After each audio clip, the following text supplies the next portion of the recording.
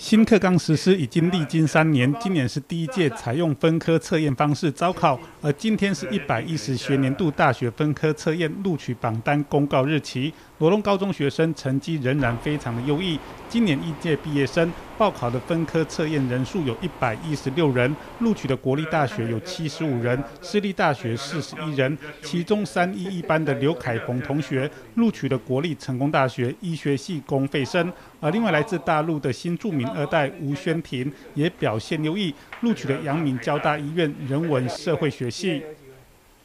有啊，他们。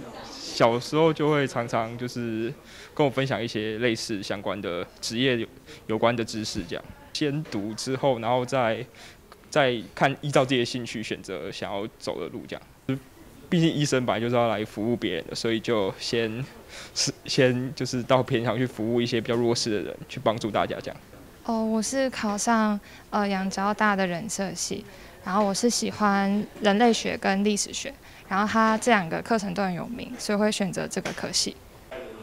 另外，三一三廖进成录取了中国医药大学牙医学系，三一三林玉轩录取了台大机械工程学系。三零六尤于涵录取了台大工商管理学系，三一一林凯恩录取了台大昆虫学系。罗东高中表示，今年罗高录取医学系、牙医以及中医学系共有七人。罗高学子经过三年的努力，有如此优异的表现，证明就近入学对学生的学习有更好的发展机会。而当然，罗高全体师生的努力是创造优异成绩的保证。